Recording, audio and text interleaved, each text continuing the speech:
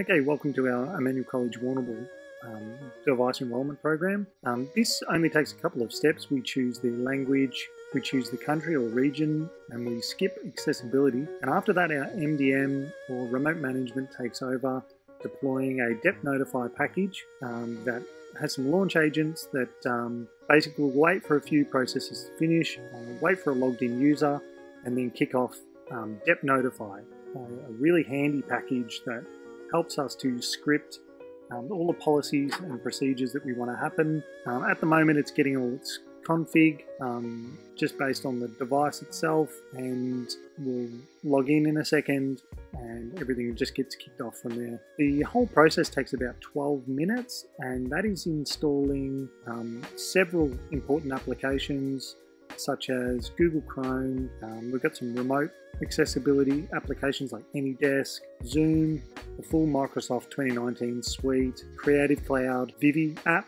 for um, screen sharing and things like that in classrooms. It also fires off uh, a few different really handy scripts um, like naming the device via a Google Doc that we predefined beforehand before the device is selected in the pre-stage. It enables remote management. It'll make the user an admin um, if they're a staff member once they log into the device and it will also refresh their dock.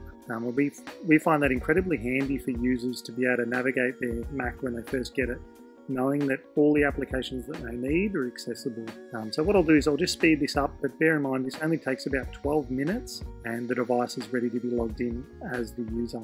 Thanks.